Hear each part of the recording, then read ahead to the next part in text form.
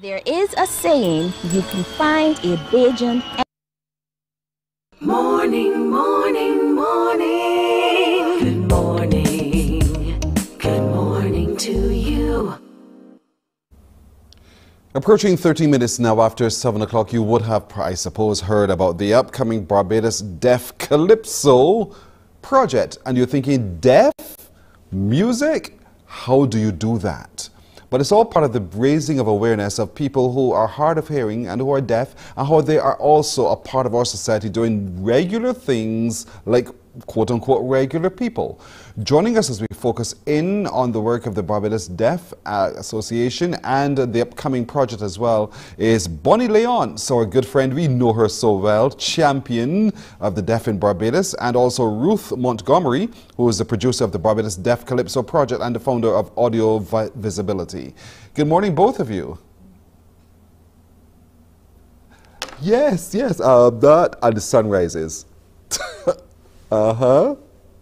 Good, good. I'm working on it, Bonnie. I'm working on it. But you know, Bonnie, you have been for a long time now at the forefront, really at the forefront of agitating for some inclusivity for people who are deaf, who are hard of hearing. How does it feel to know that now so many more people are knowing about it?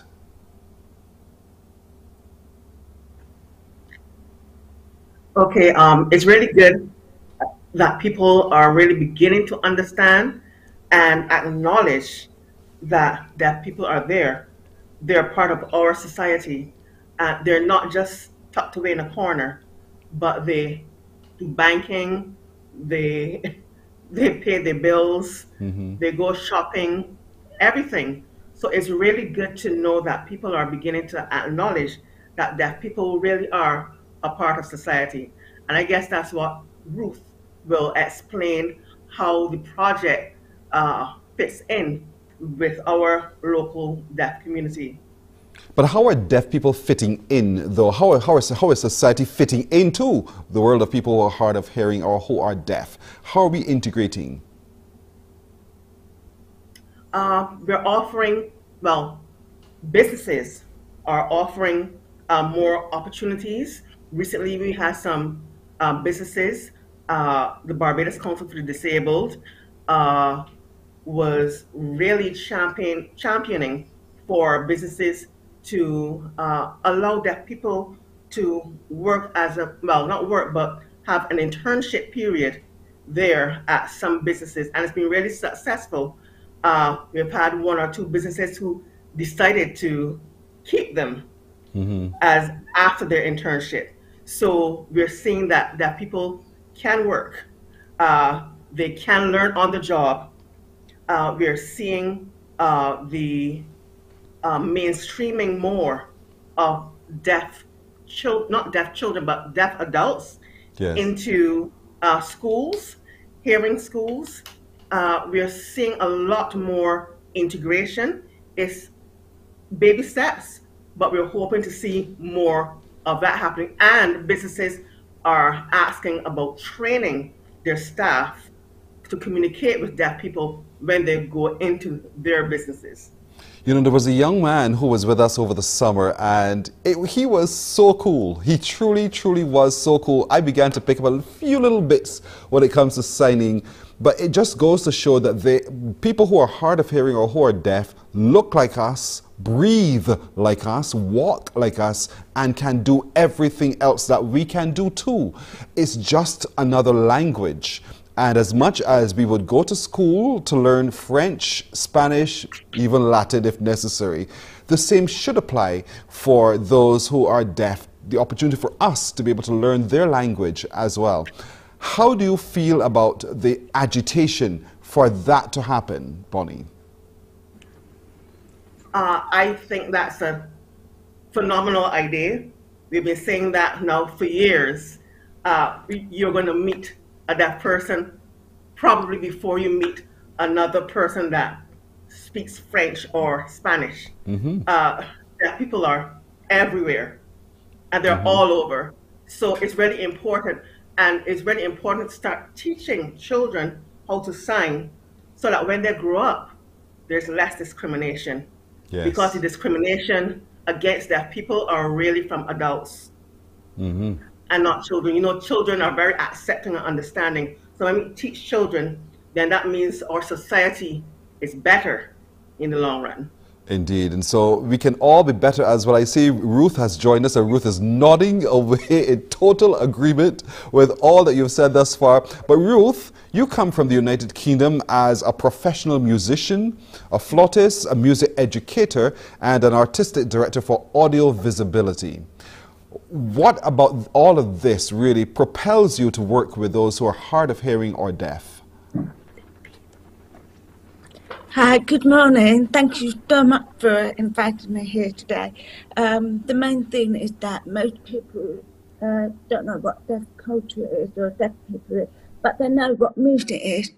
So by putting the two elements together, I just hope to foster communication, um, understanding, awareness, showing what we can do as well.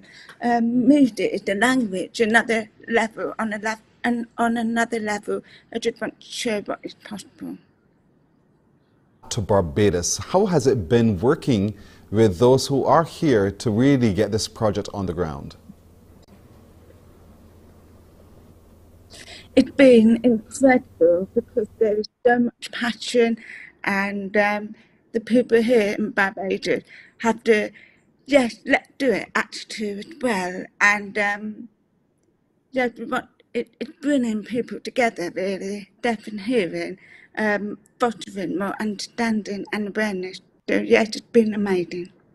There is going to be the Calypso Explore, the Calypso competition on Wednesday, on the Wednesday coming up, the 9th.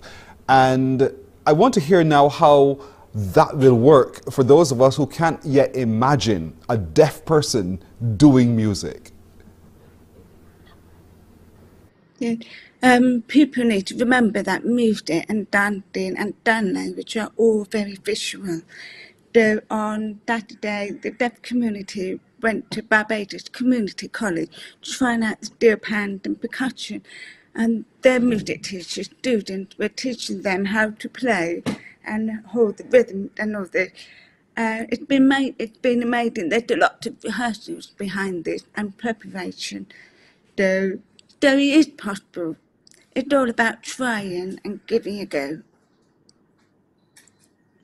go. And so on Wednesday, when we come to the Lloyd Erskine Sandiford Centre, I believe that's where it is, that, or is it the Frank Collymore Hall? I get my location right in just a moment. But when we come to this big Deaf Calypso concert showcase, we will get to see people who are deaf or hard of hearing doing the things to rhythm, to time that we've grown accustomed to with people who are who do have normal hearing. Would I be right, Ruth? Absolutely, that's right. We will have um, deaf people signing the national anthem, the song, as well as playing on steel pan, doing action. So you'll be in for a lovely surprise. So I would recommend that many people come to watch us and do us there. So right, it's at the Frank Collymore Hall. The Frank Collymore Hall. Yeah. It starts. Yes, it starts at a quarter past six on the evening of Wednesday. This coming Wednesday is a free sunset concert at the Frank Collymore Hall, featuring Sean Forbes, Warren Snipe, the Barbados Community College Steel and Percussion Band, and members of the Bajan Deaf community. And so I've just called a couple names there, Ruth, who people are unfamiliar with, like Sean Forbes, Warren Snipe. Can you tell us a little bit about them? Yeah. Sean Forbes and Warren Snipe, as known as Wawa, they are both deaf musicians, they are both rappers, um, very well known in the deaf community. They use ASL, American Sign Language, which is also the language of Barbados, Barbadian deaf community. Um, we have been working with Stoker musician Teddy Calderon, who's the musician, and bringing the spirit of the Caribbean into our music track. Also, the music teachers, Andre Ford and Roger Gitton, have been really supportive, bringing in musicians from their college to come together. It's all a very blending kind of um, music. So that, that we are and who we are.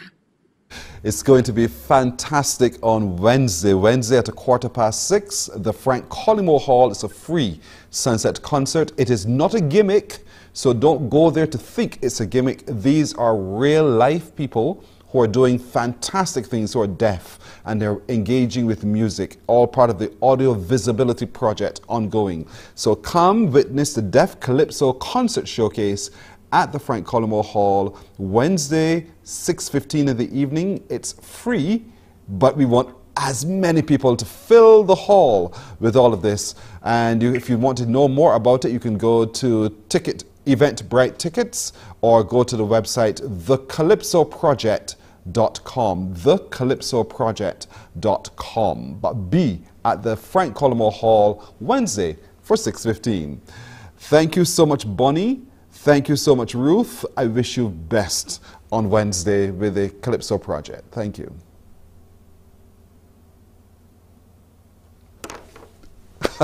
Morning, Bobby. This takes a break. We're coming back in just a moment. What's up?